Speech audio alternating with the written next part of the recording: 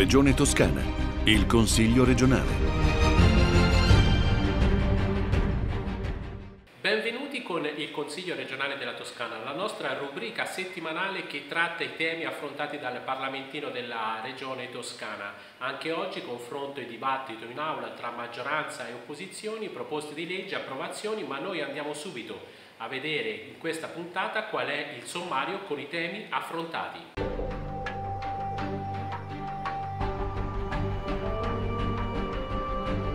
Un tema all'ordine del giorno dell'ultima seduta è stato l'arcipelago toscana e in particolare il sistema di trasporto tra, isola e, tra isole e continente e il Consiglio regionale si è confrontato in aula con un documento unanime tra maggioranza e opposizione per trovare delle soluzioni e migliorare per l'arcipelago toscano la situazione dei collegamenti. Ma noi andiamo ad ascoltare nelle carrellate di interviste le posizioni dei gruppi politici su questo tema. Eh, siamo fortemente preoccupati innanzitutto per la questione dei lavoratori, dei marittimi,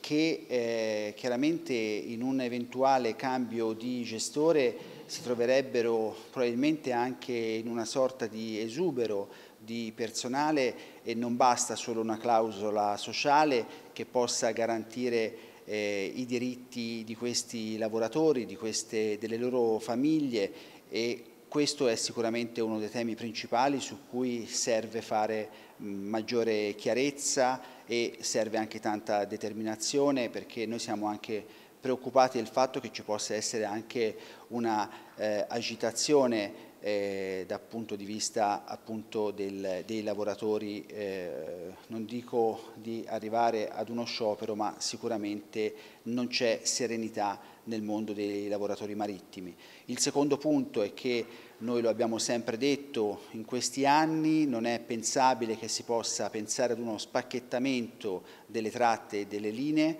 e serve invece un uh, lotto unico che garantisca anche il finanziamento per la continuità territoriale di tutte le linee. Non si può confondere l'aspetto fortemente eh,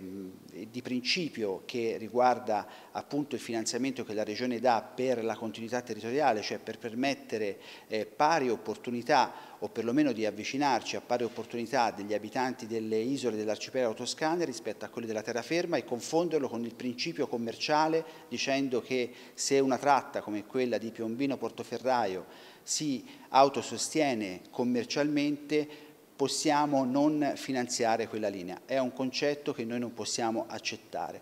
Eh, ci sono poi tutta una serie di problematiche, innanzitutto la durata del bando che eh, è stato di 12 anni, abbiamo avuto anche una proroga di un anno che ancora non abbiamo capito perché c'è stata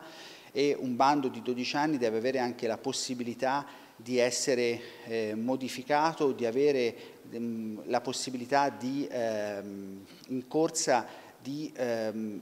arrivare a eh, trovare delle, delle, soluzioni che a livello eh, soprattutto ambientale, a livello di servizio, a livello... L'assessore Baccelli ha presentato una comunicazione molto stringata nella quale ha ricostruito i passaggi che la Giunta ha fatto in questi mesi con tutta una serie di attori, ma non ha sciolto i nodi che invece noi abbiamo voluto porre e che eh, stiamo cercando di condensare all'interno di un documento eh, votato all'unanimità dal Consiglio, ovvero sia eh, alcune caratteristiche del bando. Il primo è il lotto unico, perché non possiamo eh, accettare l'idea di una frammentazione che scarichi sulle tratte più deboli i costi e rischi di tagliare eh, i, eh, tras i, trasporti, soprattutto per le isole minori, Capraia e il Giglio in particolare, ma anche per alcune corse dell'isola d'Elba. Poi c'è un problema di tariffe, perché il lotto unico evidentemente può consentire di giostrare sulla parte buona del trasporto marittimo, cioè quella per esempio a fare riferimento al turismo, per consentire anche attraverso eh, un contributo della Regione Toscana di ammortizzare le tariffe a favore dei residenti, in modo particolare i pendolari pendolari e gli studenti. E poi abbiamo chiesto alcune garanzie di natura ambientale, come per esempio l'adeguamento della flotta, un ringiovanimento della flotta, eh, anche lavorando magari sulla durata del contratto di affidamento e per esempio richiesta esplicita di Fratelli d'Italia la eh, realizzazione, come previsto anche nei piani di sviluppo dei singoli porti, di eh, sistemi di approvvigionamento dell'energia elettrica delle navi che sostano durante la notte che possa essere effettuato direttamente appunto attraverso il sistema elettrico nazionale e non tenendo i motori accesi tutta la notte, sia per ragioni ambientali sia in alcuni porti anche per ragioni naturalmente di eh, basso impatto acustico nei confronti dei residenti e dei turisti. Sì, noi abbiamo introdotto dentro questo dibattito sul cabotaggio marittimo sul servizio di continuità territoriale sull'arcipelago e quindi nei temi dell'accessibilità turistica dei servizi per i residenti. Abbiamo introdotto sostanzialmente due questioni. La prima, il tema della gestione della tratta Campiglia-Piombino, da valutare l'ipotesi dell'inserimento nel bando per una gestione anche della tratta ferroviaria da parte dell'eventuale vincitore della gara per il trasporto marittimo, questo con due obiettivi, il primo di efficientare le coincidenze sull'asse tirrenico rotaia-rotaia e quello fronte mare sul porto fra navi e, e, e treno, e dall'altro quello di favorire ed incentivare l'utilizzo del treno e quindi di, e più in generale della mobilità dolce, delle biciclette a bordo, eccetera. Il secondo tema è quello della modernizzazione della flotta in termini ecologici per essere coerenti con gli investimenti che l'autorità portuale sta compiendo utilizzando le risorse del fondo complementare al PNRR per l'elettrificazione delle banchine. Questo accade a Livorno, a Piombino, a Portoferraio quindi anche sulle tratte passeggeri sarebbe importante che si contemplasse l'ipotesi di adeguare la flotta per l'utilizzo di queste banchine elettrificate, quindi ricaricare le navi e gli impianti di bordo a motori spenti. Altro tema affrontato dal Consiglio regionale della Toscana, la relazione annuale del garante per l'infanzia. Anche qua maggioranza e opposizione si sono confrontate su un tema molto importante sentito da tutti i gruppi politici. Si lamenta una carenza di eh, personale per poter svolgere le attività che si vorrebbero programmare come garante per l'infanzia, ma ascoltiamo nella carrellata delle nostre interviste quali sono le posizioni dei consiglieri e dei gruppi politici. Il tema dell'infanzia l'infanzia è un tema che ci sta particolarmente a cuore, siamo preoccupati perché consideriamo che negli ultimi tre anni c'è stato un calo demografico importante, meno 17.000 eh, minori in Italia e in Toscana e per quanto riguarda eh, diciamo, anche la povertà relativa c'è circa il 10% dei ragazzi toscani che sono in eh, condizioni di povertà relativa. Noi vediamo un garante per l'infanzia un po' distaccato una sua eh, sorta di autoreferenzialità, a volte eh, ripete le stesse identiche pagine nel corso della sua relazione, lo vorremmo molto più presente in Toscana. Ci sono delle segnalazioni, una parte corposa nella relazione circa 220 anche per argomenti molto seri come l'inadeguatezza degli ambienti scolastici, le tariffe massime per autobus e per mensa che addirittura hanno portato molti bambini a cambiare scuole, però non vediamo dei dati aggregati, non capiamo poi da dove ecco, provengano questi dati, quindi c'è da lavorare sicuramente per mettere anche più eh, personale a disposizione di queste figure per poter operare meglio.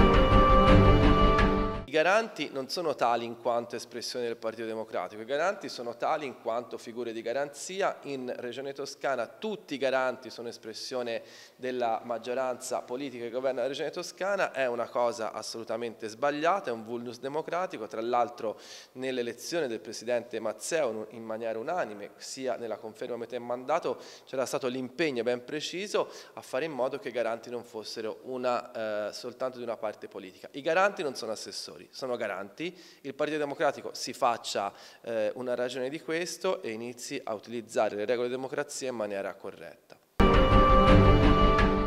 Il garante dell'infanzia diciamo, sta lavorando bene, eh, mette in evidenza anche qui delle pecche che eh, sicuramente esistono. Eh,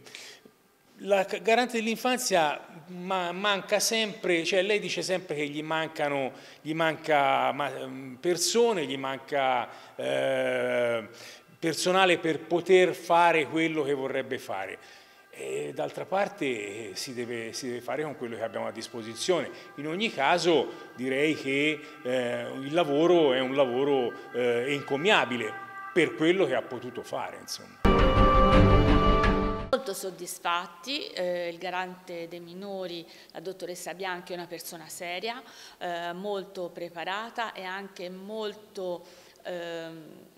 appassionata del suo ruolo, sta facendo un lavoro immenso eh, e eh, anche con una carenza di organico che ormai è endemica, eh, a cui nessuno provvede e che invece dovrebbe trovare eh, una soluzione. Anche questo corso che lei ha fatto per eh, questi nuovi tutori di minori non accompagnati a, svolge una eh, funzione fondamentale. Ecco, questi nuovi tutori svolgono eh, dei bellissimi percorsi di accompagnamento eh, nei casi che gli sono stati affidati.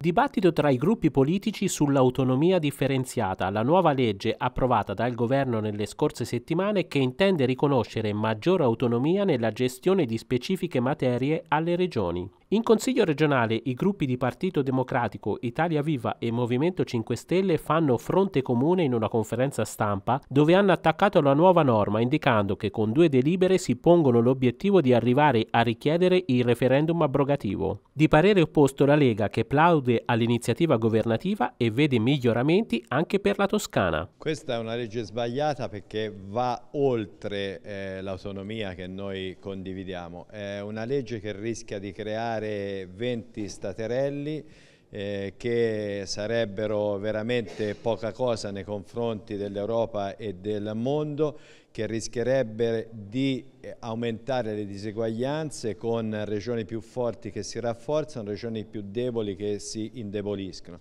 di consegnare alle regioni materie importanti e unificanti come quelle della pubblica istruzione, eh, come quelle dell'ambiente, come materie legate ai diritti civili, che non possono essere eh, frammentate ma che devono essere gestite unitariamente. Se poi pensiamo che eh, c'è un'altra legge in itinere che è quella sul premierato, sarebbe come dire che avremo o rischiamo di avere 20 staterelli che sono comandati da un capo o da una capa che viene eletta direttamente con eh, i poteri del Parlamento e del Presidente della Repubblica molto indeboliti e quindi il rischio è veramente quello di alterare quelli che sono gli equilibri e le articolazioni dello Stato previste dalla nostra Costituzione. Noi siamo per la semplificazione, la semplificazione la si può fare decidendo meglio chi fa cosa tra comuni, province, regioni,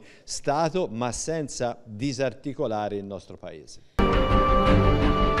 Noi siamo fermamente contrari a questa riforma, a questa legge e soprattutto perché aumenterebbe il divario fra nord e il sud del paese. Dopo decenni in cui i governi tutti si sono spesi per diminuire questo divario, ricordo tutti i fondi per il mezzogiorno, le politiche per il mezzogiorno, eh, tutto quello che è stato fatto verrebbe assolutamente messo nel cestino e aumenterebbero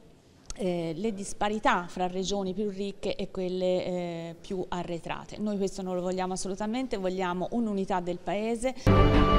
Sono sinceramente soddisfatto innanzitutto dell'approvazione della legge Calderoli. Dopo anni e anni di fatiche, di sacrifici, di sudore dei militanti della Lega siamo riusciti a far approvare un atto cornice per quanto riguarda l'attribuzione di ulteriori competenze alle regioni. Questa è una bella notizia che deve essere colta anche dalla Regione toscana. Inoltre quelle materie che possono essere davvero utili nell'interesse di tutti i toscani. Faccio alcuni esempi. La geotermia e il Ministro Calderoli è stato ben disponibile a concedere la possibilità di una royalty per quanto riguarda ecco, questo settore dove noi produciamo energia. I beni culturali eh, e anche i porti, tutto indispensabile per un maggiore sviluppo de della nostra regione. Io credo che si debba parlare su questi argomenti che non ci si debba arroccare su posizioni ideologiche. Del resto Gianni eh, su, da questo punto di vista ha cambiato